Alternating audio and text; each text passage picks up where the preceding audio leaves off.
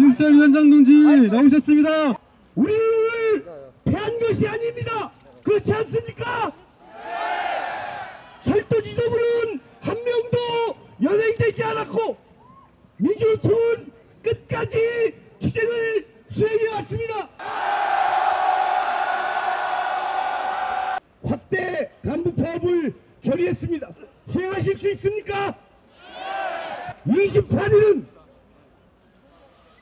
여러분들의 가족까지 파업을 할 수 있는 것은 파업을 하고 교육을 할 수 있는 것은 교육을 해서 다시 한번 우리들의 분노를 커다란 기운으로 만드실 수 있습니까?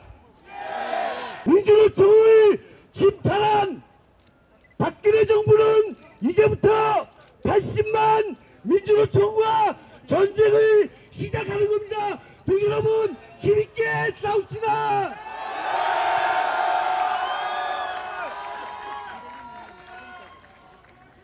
다시 보기를 여러분들보다 10배, 100배 많은 현장의 조합원까지 함께 조직해서 다시 만나겠습니다. 동지 여러분 자랑스럽고 사랑합니다.